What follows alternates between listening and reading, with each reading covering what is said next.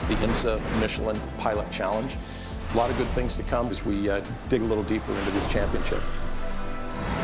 This is classic GT and touring car racing. Love it a bit. A star-studded and packed field. There's some hotshot drivers and some very attractive cars.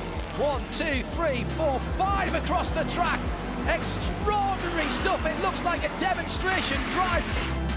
It just starts to get more electrifying every second. This is modern day endurance racing, a set of sprint races between tyre changes and fuel stops. I'm loving the atmosphere that uh, IMSA have brought here with this festival, where the devoted of endurance racing come to worship